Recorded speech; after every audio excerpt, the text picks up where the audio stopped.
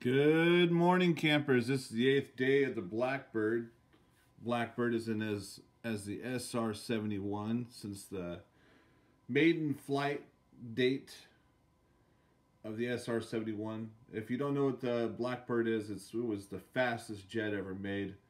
It was uh, made for, uh, of course, spying on Russia during the Cold War. And as soon as we found something that was better than flying a really fast jet over, we put it to rest, but that jet was so fast they couldn't shoot it down with missiles. I mean, they, this thing is, I've seen it once fly by. It was pretty intense. Uh, today, I'm going to play you a band called Nile. I've seen Nile once on uh, while they toured with a long time ago with uh, Morbid Angel. Very impressive when I saw them. I've owned a few albums of them. This is something that came out last year, and I'm not sure how exactly how to pronounce the name of the song, so I'll just do it in the spelling. But here we go. We're going to check out this song.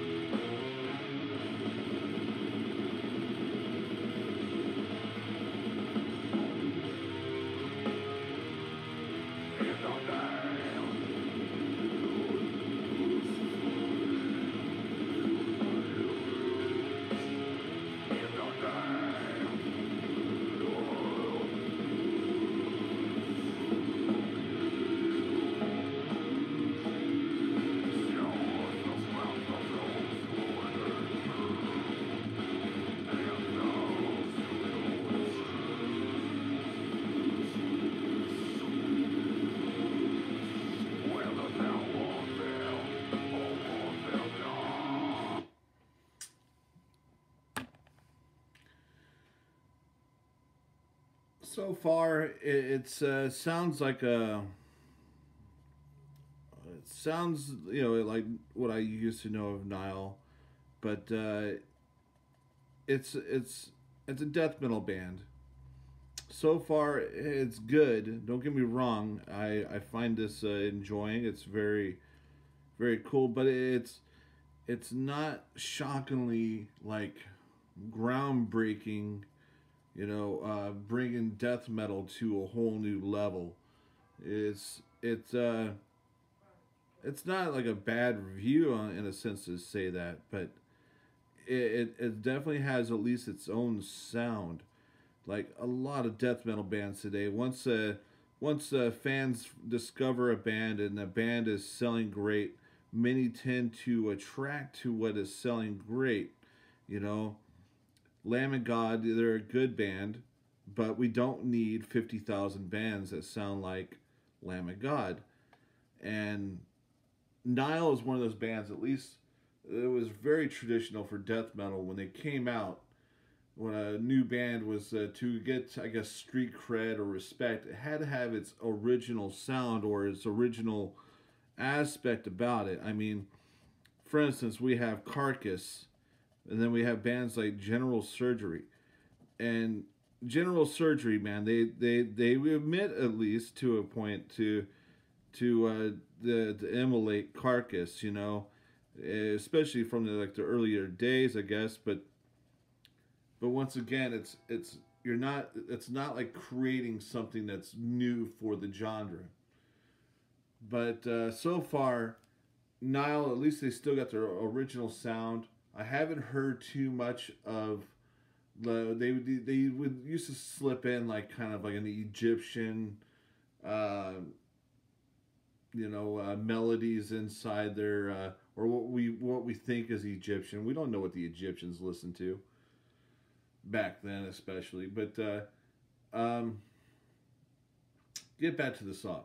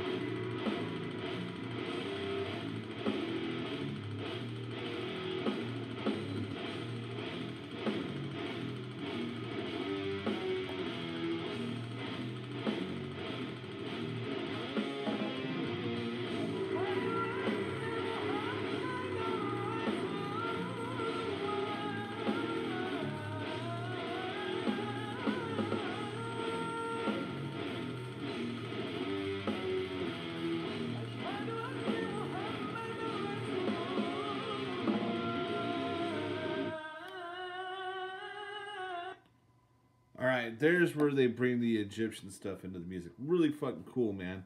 And that rhythm before it with the double bass and everything. It, the drums I really enjoy on this. Uh, the recording of it doesn't sound like it's too much trigger click.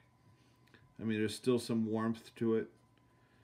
Um, and that slow rhythm kind of remind me of a, a Morbid Angel, but man, it that it's definitely still original this is something a lot of new death metal bands are are I think are are missing in their writing is it's not all about how fast you can go and how how machine sounding you can be. You know, this this is actually kind of kind of song is actually kind of taking waves of of brutality. I mean, this this is definitely it's not have you know, uh, making a bright point and calling back. This thing is just, uh, uh, I can just imagine, like, you know, just dragging a big stone through the desert, you know, like just a pile up of, of sand breaking in the wake of this, the weight of the stone as it's getting dragged, you know. Uh, but anyways, man, back to the song.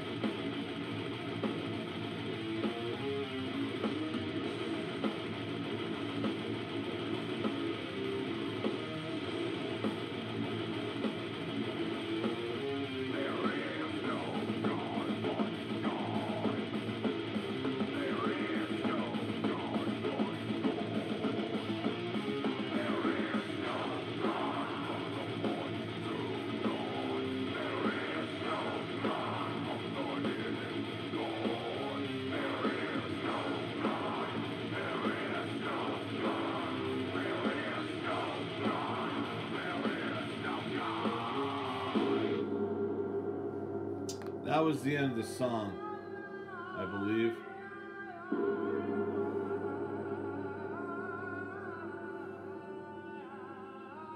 Play out.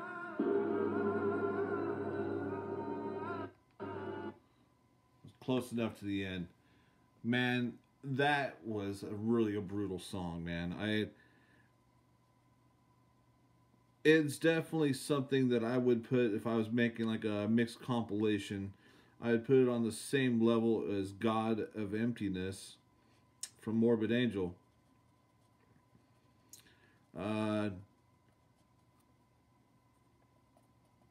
this was not a disappointing sound from them, and uh, I, I'm gonna have to check out the whole album. It it sounds something something to me that I, I think. Uh, a, a fan of death metal could appreciate and give respect that it's like it's their own original style. You know, none of them are from like Egypt. I believe they're from uh, West, uh, from Virginia, and uh, you know they just kind of took up the the Egyptian mythos and kind of brought it to to death metal. You know the the dark expe- uh, uh, the dark.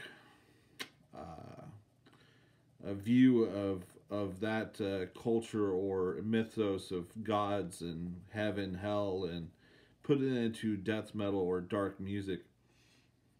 It, uh, it it's definitely something uh, you know original at least. You know this. I, like I said, you know, sometimes we get very caught up. Musicians, they want to make it big and when you're out writing music, you know, you hear something that sells good, and all of a sudden there's like 200 of those bands. And that's really the last thing death metal really wanted when when it was coming out with like you know the original line uh, I would say with even Death and Napalm Death and the the first grounding death metal bands. Everyone had to have their unique style, and that's kind of even like where we even came up with like a kind of a New York style. Some call it slam, and it uh, is very distinct. But uh, Florida did really good on that. I mean, you you put uh, Deicide, Deicide right next to like the Cannibal Corpse or even the Obituary. All of them had a completely different sound, but yet the same genre of music.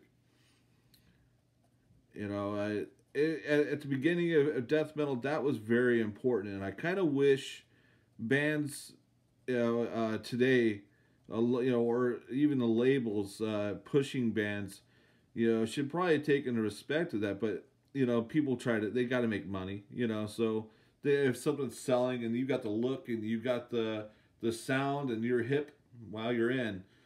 Uh, sometimes uh, being original has its flaws too. You know, uh, people will be unsure and not so receptive because you know a lot of it's just a trend and they just want to fit in.